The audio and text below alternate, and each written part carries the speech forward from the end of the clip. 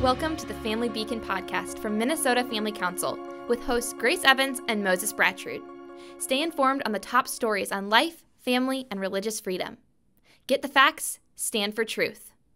Hello, and welcome back to the Family Beacon podcast. My name is Grace Evans. I am here today with a very special guest, Representative Tim Miller. Let's give him a round of applause, guys. Wow, we're so excited he is here.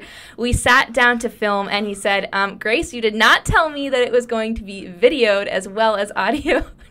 I had so, no time to do my hair or makeup. This is true. So here he is. Um, he said that he actually considered showing up in a hoodie, right? Am I exposing you too much to say that?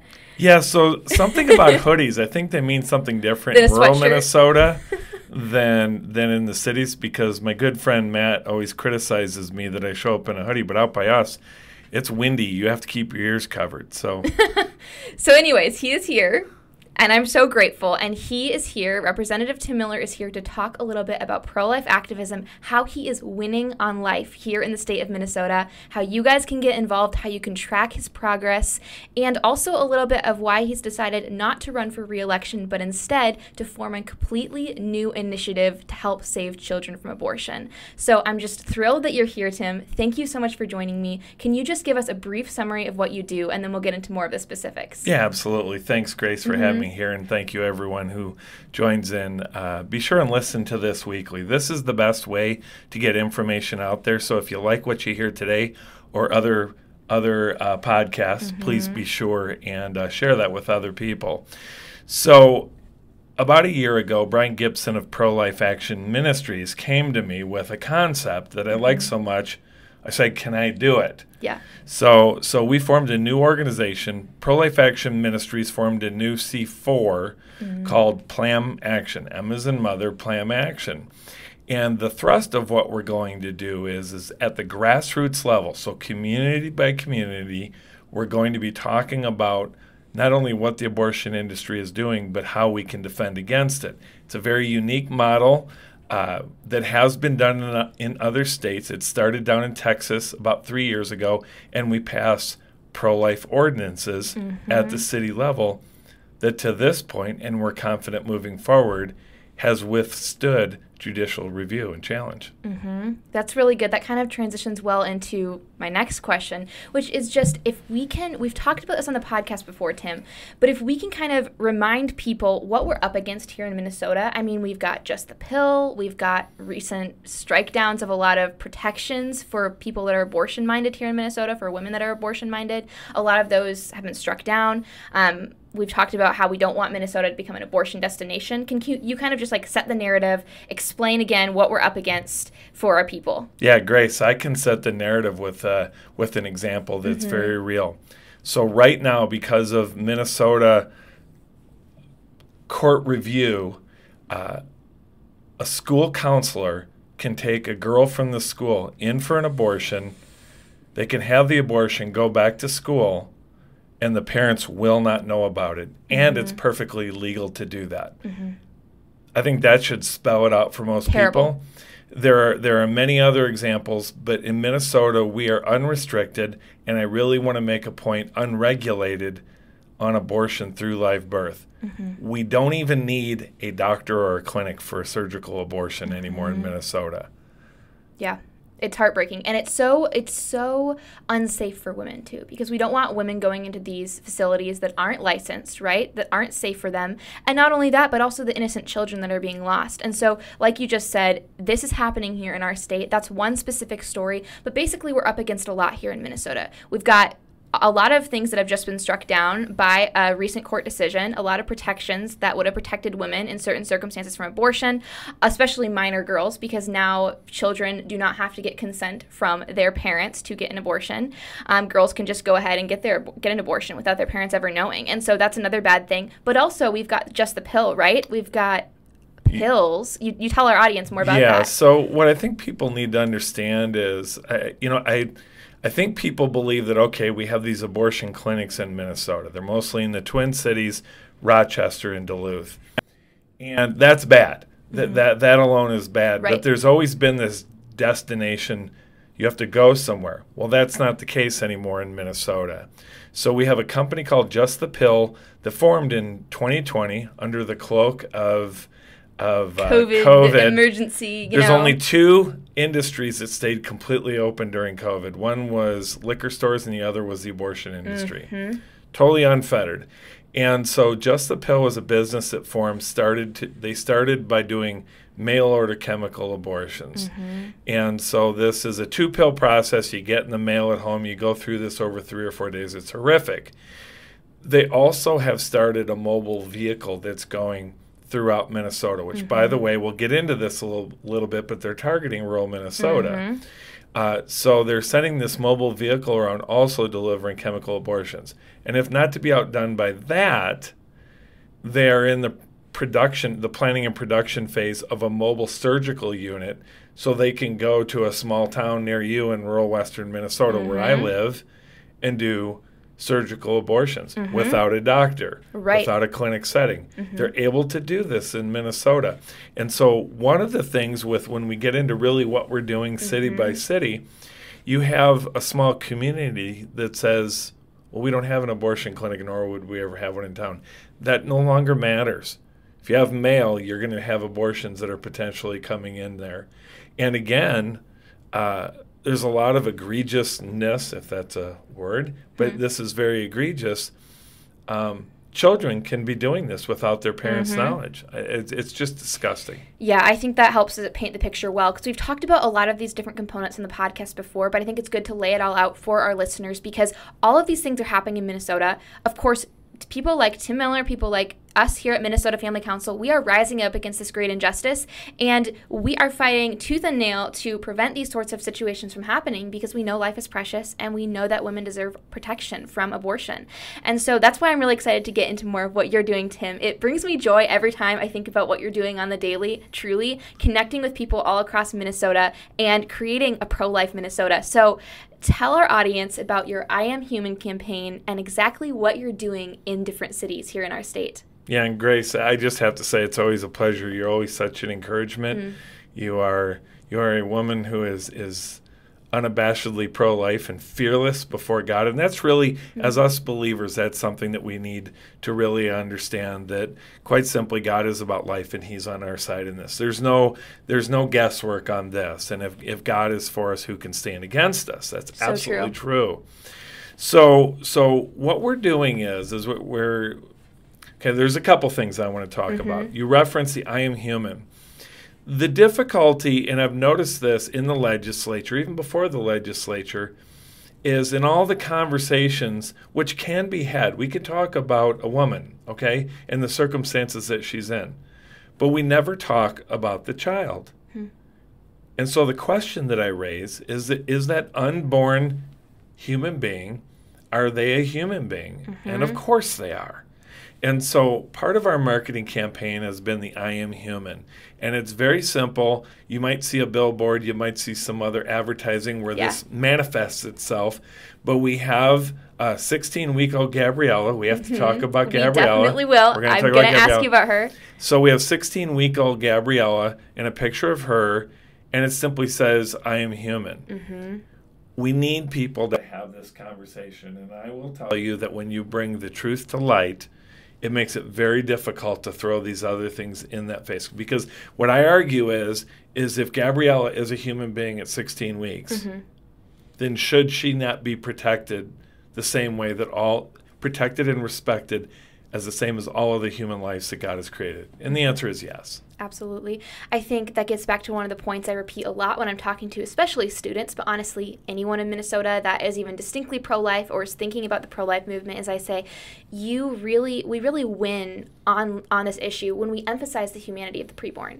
When we always bring it back to that, because when we bring the conversation back to what we're actually talking about, which is the fact that every human being deserves respect and protection and deserves that chance to live, that's when we win, right? When we get like sidetracked by all these other conversations and we forget to emphasize the humanity of the preborn, I think that's when we get off traffic, get off topic, I should say, and we begin to kind of get in the weeds. But really, this conversation is about is this child a human from the moment of conception? And B, is this child worthy of a protection? Absolutely yes to both to both both of those questions, right? You know, one, one, one of my heroes is William Wilberforce. Mm-hmm. And for people that don't know, in the late 1700s, he effectively, with a group of other people, ended the slave trade in England. And the most effective work was when he started bringing members of parliament out to the slave ships and say, this is what we're talking about. And so Gabriella and some of the other things we're doing is, is just bringing real light to who it is that we're talking about. Mm-hmm. The abortion industry cannot talk about these things because they want to steer you to philosophical, technical, aggressive attacks about you know do you not respect women? These are all lies. And one of the things that we also hope to do is to not only uncover those lies but give good answers equip people to be mm-hmm. able to answer those tough questions when they say well what about the woman and i hope we get into that a little bit here as well Yes, bit later. definitely. Let's talk a little bit about your slogan, if you will, or the trifold mission of Plam Action, which is inform, equip, engage. Because that kind of is what we're talking about how we want to inform the audience, we want to equip them, but we also want to engage. So if there's anything you want to add on to about the if- inform and equip part, feel free to do so. But then we want to talk about the engagement for sure. Yeah, so I'm by nature a strategic planner. That's what I do and uh, have done before in my career is helping nonprofit organizations with their strategic plan. You have to have a plan. You need to let God take it where He wants, but you need to go through these things. And and the three words, as you said, inform, equip, and engage Yep. are really what it is that we're doing. And so, informing is telling people what's happening in Minnesota in the abortion industry, but then also informing them of what how we can do something to fight against this. And then the mm-hmm. next step is equipping people. Yeah. The great thing about grassroots efforts, everyone's qualified to participate in some way, and that's really the message. When I'm in So front true. of when I'm in front of 10 people or 200 people, and I've been in front of both, I say everyone in this room has the ability to do something. We have a prayer network that you can join, but there are people that have skill sets. They like making phone calls, or they, you know, there was there was a, a woman that I was talking to earlier from Southeast Minnesota, mm-hmm. who's just a prayer prayer warrior, and she prayed over me. And, and I don't want to diminish prayer, but I'm saying people know that they can do that, right? Mm-hmm. Not everyone has to get in front of a group of people. Not everyone has to lead a podcast on Yeah. this. We have people that have marketing skills that are going to help with this. We have probably one of the top attorneys on the life movement that are working with us. I don't need a bunch of attorneys that can do that. In a grassroots effort, we can do that. So we equip people to help with this grassroots effort. Mm-hmm. And then once we build that army, once we build this team, whether it be in a single community or statewide, we engage the subject. And we do it without fear and we do it without confidence because we have God leading the way, but then we also have a bunch of people doing the work together and working in working in harmony with each other towards that single goal. This is a very powerful movement.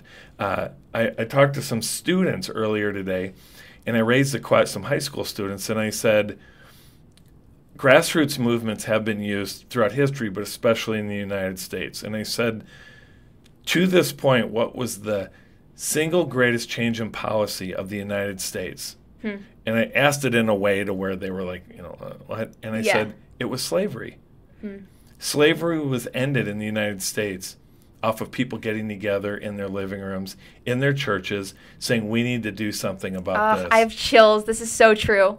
It's absolutely true. Yes. So grassroots efforts seem small in the beginning. They Mm-hmm. seem Humble. humble. How can we overcome these things? But it builds such a force that Yes. cannot be stopped. I love everything you're saying. You know, if you know anything about me, you know I'm a go fight win kind of girl. Like, let's do this. We're in the Yeah. fight to win it. Let's mobilize. Let's act. And this is just like music to my ears. Even though I've heard you talk about it so many times, I just us get so excited. for us boomers that drive your generation crazy, okay? Uh, the World War II effort was really the mobilization of a nation, is what happened. And everyone participated in some way. You, know, you have Rosie the Riveter. You have the people that went off to war. You had people that sacrificed sugar. You know, they didn't get new tires on their car. So they're, they're, but as a nation, we mobilized towards a singular goal to end fascism and it was successful. Mm-hmm. That's what we need to do on the life front. Tim, I think that the point you're drawing is so crucial to this debate. I think that when people realize that they can change the narrative of history by simply speaking up and doing what they are good at for the sake of a cause like this, it changes it changes everything. And that's what I tell people when I'm speaking to them, when I'm speaking to students especially, is I say, you may think that you are just a girl or a guy who cares. And you may feel insignificant, but let me tell you, that is the biggest lie. Like, that is the lie that Satan wants to feed you. He wants the opposition, like, nothing better than for you to believe that you can't make a difference because you're one person. But guess what? That is so untrue. And if we all work together and we all just do what we're good at, we can we can totally change the narrative. I mean, my pro life activism looks like speaking, a lot of speaking events, a lot of podcasting, a lot of media things, but other people's may look totally different. Like what about the role of pregnancy resource centers? We absolutely need them in the movement. What does it look like to go and volunteer at those resource centers? There are things that you can do with your gifts that look different than my gifts. And if everyone's pro life advocacy looked just like mine, I think we'd actually not be in the greatest place. I think we need people at all different areas, in all different stages of life, doing absolutely different things all towards the same goal. Well, and here's another great thing that came to mind is is when we are obedient to God mm-hmm. and we do these things that we're capable of, the ordinary can become extraordinary. And the story that I thought of, you know this story, but up in Moorhead, uh, we had an abortion clinic just move right over from Fargo this summer. There's very little that we can do. We go up and have a rally up there, and we spoke to about 200 people and said, with with we did a tent like a tent revival meeting. It was fantastic, but the stage was set to where the you could see the abortion clinic right behind us. And I was on stage and I gave this message everyone in here can do something. Mm-hmm. And there's this young woman, 21 years old, Cassie, who called me about a couple weeks later. Yes. And, and she said, um, I was there to be informed and be excited, but I didn't think I could do a whole lot in this. She went from that to where she formed, organized, and executed a 40 days for life where they had people praying out in front of the Amazing. abortion clinic from 6 in the morning to 10 at night for Chills. 40 straight days. Chills. She organized this with some of her friends literally in about 2 or 3 weeks uh, time. Amazing. That's the amazing thing that can happen when mm-hmm. people are willing to step forward and do something. Yes. So true and so inspiring. It is so great to see young people stepping up and just using their gifts. I think that if there's any key message you can take from this is if you can use your gifts, you should use your gifts to further the pro life message. And your gifts are different than the person next to you. And that is actually a great thing because we all have different things to contribute. So, wow, I'm honestly just getting even more and more excited as we go on. So, tell me about so we're doing we're doing this with with Plam, right? You are going and you are activating people, building this grassroots grassroots coalition and making it so that they get involved, they get activated, they get excited about this cause, and then, what else are you doing on the city ordinance front? That's right. There's yeah, more to this. There's this more. is there's, actual meat to we're it. We're just like peeling back the layers. we actually have legal substance to what it is that we're doing. Facts. Yes, we. So in Minnesota, it is a true statement that effectively we can do nothing to make abortion illegal. We can do almost nothing to really kind of control it through illegal, like you can't do this sort of thing. But that doesn't mean we don't have any tools. And this is real significant what we're doing, and this was proven in Texas. So we can go to a city and they can pass an ordinance. Yes. Doesn't make abortion illegal. It says anyone that performs an abortion is subject to a lawsuit by another individual a civil lawsuit. And there's there's lots of legal argument, posturing, and stuff like that. But this has been defended all the way up through federal court mm-hmm. that it stands. You can you can do this. And so if we go into a community and rally into a city, them. rally them. Mm-hmm. We work with them at the individual city council, lots the faith leaders, lots of meetings, and we pass this. Not only are you saying this town is going to defend life, but we can actually effectively end abortions mm-hmm. in that mm-hmm. community. But there's more because yes. so like the small communities I'm going to in rural Minnesota, they're like, well, big deal. If we do this, the next town over can still get these abortions, right? But this creates think of just the pill and Planned Parenthood as a business. You know why? Because they're multi-million dollar and in case of Planned Parenthood, billion dollar business. Okay, that's what they're about. Anyone that has a business or works in a business understands that you can't have liabilities. You cannot have legal liabilities out there. So you start getting these towns that pass these ordinances they're exposed legally, mm-hmm. which becomes a problem for them. Mm-hmm. It's a good thing you got a solution. So the the big city that really made its mark in Texas, they were going along getting communities, and then they passed this life ordinance in the city of Lubbock, Texas, hmm. which is about a little over hundred thousand people, significant size town, and it had a Planned Parenthood in it. The city or the city passed this ordinance, and Planned Parenthood immediately stopped operations. wow. Now- that is the power. That's the power. Mm-hmm. Now, the ACLU took it to court, of course, right? No mm-hmm. surprise there. That's where we found that the city of Lubbock won. Wow. They won.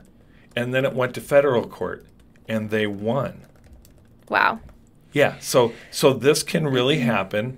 Um, is one city going to change things? Maybe, maybe not. It will save lives. It will It will save, save lives. In and of itself, it's going to save lives. Mm-hmm. But I'm excited about where this is going to move. My my many years in Minnesota politics, I know the way these things work in the state of Minnesota. This exposes the abortion industry and they know it. How do I mm-hmm. know it? Because when we just had a story in the newspaper, Attorney General Ellison sent a letter and said, You can't do this. Now, this is, by the way, this is the Attorney General of the state of Minnesota with all the legal resources that he has. Mm-hmm. The letter that he wrote to the city of Prinsburg never once had an actual legal He was just threatening. He was just threatening, which is significant because Yes. if he had a if he had a legal you can't do it because If he had a this, reason, he would have stated it. You better believe he would he have. would have stated it. he doesn't have it and Yep. they know that so here's the other side so this is why we need people to be praying Mm-hmm. is uh, their tactics are bullying tactics they're threatening tactics they are um, i've had some very interesting phone calls and emails since then um, when i say interesting i'm talking profanity laden and things like that but that's that's okay for me i don't expect other people to have to deal with that but this is what we're up against Yeah. but here's the here's the good here's the good news. First of all, the good news is the good news. Absolutely. We're on God's side and we're going to win. That's right. But the good news is is those words carry absolutely no power mm-hmm. as, unless we give it power. Mm-hmm. And so one of the things when we talk about inform, equip, and engage, yes. we do want to equip people. We don't ask everyone to be public speakers, but you know, we, we saw this with the with the same sex sex marriage stuff ten years ago. There's a lot of Christians that weren't really sure how to answer the question of, well, can't love just be love? Or marriage is just a contract, you know? Someone wants health insurance or something like that. We weren't equipped to address where the lies were and what the true statements were. We can do that on the life front. We can talk about, you know, so I was, again, I was talking to students this morning and I said one of the lies is is that as a Christian pro-life person that I, I hold a woman who's had an abortion in judgment. Mm. And I said, when you speak in front of a group of 10 or more, there's someone in that room statistically that has been either directly or very closely affected by an abortion. They are post abortive. Yeah. And so the lie that Satan tells them is is you're you're you know, these people are judging you and, and all these negative things. And I tell people, I do not I do not condemn you, I do not judge you. God, the creator of this universe, does not condemn or judge you. He loves you and wants you to wants to come into relationship and feel his warmth and his peace. Mm-hmm. The abortion industry says that guy Miller, he's he's telling you you're a bad person. And that's and I know that some people that are watching this, that's what they feel like people are going to come and attack them on. Mm-hmm. So we need to be able to help people. That's one of the things that we want to do. We're putting together a series of videos Yeah. and some other tools that so for example uh, one of the videos we're going to have out within this month explains in about three or four minutes what this whole ordinance thing is That's amazing. I so love that. that's right so you so you don't have to say well there's this organization it's it's planned something i forget what it is Yeah. you can just say here's this video here's what they're doing Mm-hmm. contact him if you have questions Yeah. And it's doable. That's something that someone can do. It's a great way to reach the general public, I think, because if it's a short thing, then they don't have to listen through like 40 minutes of an explanation or read a whole web page. It's just a three minute video or however long. They get the information, they get the facts, and then they can go stand for truth, which ironically is the kind of our slogan here, the podcast is get the facts, stand for truth. But I think it actually applies to what you're doing is we want people to get the facts and stand for life, right? And I think your point that you were making over the past few minutes was so good. Um, just how we aren't going to be able to change politics or change our laws unless we change the culture, right? Because politics is downstream from culture. And so what your organization is doing through many, many different facets is we you are working to change people's hearts which is what Minnesota Family Council is also doing, change people's hearts and to lessen the demand of abortion organically. Like you are going in and you're going to help people understand that abortion is not a solution. It's actually a grave violence against a woman and a child. And so people are not going to want to go get an abortion and the demand will be lessened and people's hearts and minds will be changed. And so when we do that, we're really winning and then we're set up perfectly to go change the laws, change the politics on this issue. And so I think what you're doing is so fundamentally important, especially here in Minnesota where where, yes, I think it's easy to get depressed or be gloomy sometimes about the state of the politics. But the thing is, once we change the culture, we have a great shot at changing the policies and law, right? Amen. That's that's exactly the point that we're making. Yeah. So let's talk a little bit more about your. Let's talk more about the media aspect of what you're doing because I'm really excited about your Gab- Gabriella initiative. So why don't you explain? You've explained like what she is, who she is, the, a beautiful little baby girl, but explain more about that initiative. Okay, well, we, we kind of organically came upon a good idea mm-hmm. that you and I talked about, yes. and and and for the listeners, I really trust this young woman. She she gets it, and she's so highly skilled. I'm always a little bit nervous being around her because she inti- intimidates me a little bit, in a good way. Thank so, you. so anyway we notice so we've been doing billboards we've been doing signs for the people that do counseling outside an abortion clinic and it's simply a sign that has an unborn child at a certain number of weeks. And and the original posters just had the picture and said like 16 weeks. And on the other side it said abortion kills a human being. Great message. And we still do that but we expanded on that a little bit. So we have billboards and we have some other signage that say that have a picture of this 16 week old baby. Mm-hmm. Okay. Yep. We gave her a name. Now we have three different names, but Gabriella seems to be the one. Mm-hmm. I don't know that just. It's great. It's great. Yeah. So it'll say 16 weeks old, Gabriella, and then the sign will say, I am human. Yes the the the great thing about that first of all it's the truth so that's great. But Absolutely. the great thing about that is is you can't argue that right? Like you yeah. you can we've seen people get very upset at these signs but i think they're getting upset because what are you going to say? That's not a baby that's, that's just a clump a of cells. Oh yeah, wait it looks like a baby. Totally looks totally looks like a baby. So uh, or they'll say that's a baby. Oh oops i said it's baby but i think that it's okay to murder that baby oops, and then you got him again, right? That's that's what makes them feel uncomfortable. Is because they know that it's a baby. Well, until that point, one of the rather colorful phone messages I got this last week, the person chose to call me and say, um, "I don't like what you you're doing, you bleepity bleep person. I wish your mother aborted you," which points to their admitting that a human being came out of me being born, right? Right, right. So right. the logic. Kind of, the, the logic doesn't hold. But with Gabriella, mm-hmm. um, I contacted you. Yes. Threw out an idea. You liked it. Loved it. So social media is a very important tool, and it's a good tool, but it can be challenging, especially on this subject matter. So quite simply put, me saying something on Facebook carries a certain degree of truth to it, but I always say it's what people are hearing, not what they're, what you're saying. Mm-hmm. And so we came up with this idea for Gabriella to have mm-hmm. her own social media presence. 16 weeks old. 16 weeks old, Gabriella, mm-hmm. and uh, she's primarily on um, Twitter and yep. Facebook right now. We're going to expand that. Yes. As much as I hate the the platform, we're going to be doing some TikTok stuff. Yep, we do the same thing. It's we can use it for good. That's right. That's right. we have so, to reach but, people. But anyway, Gabriella can say things yeah. that Grace and I can't say. Absolutely. Yep. And it's impactful. Mm-hmm. And to the point, uh, um, Gabriella, a couple weeks back, had someone who said some bad words. Okay. Wow. And Gabriella's response was kind of a giggle. And I think I heard my mommy say that word once. What does that mean? Isn't that disarming? The It naivety is. of a child. That's right. Mhm. And so we're real excited about this. And I actually see where we're going to be using uh, Gabriella as a as a person to express a lot of different. I call her my little influencer. She is. She's a- she she's is a your little little influencer. influencer. So that, that I guess that would be one little plug right now is is if you're on Twitter or Facebook, look for Gabriella. Mm-hmm. Yes. You won't miss her. And, hey, I'm uh, Gabby at Hey, I'm Gabby. Yep. yep.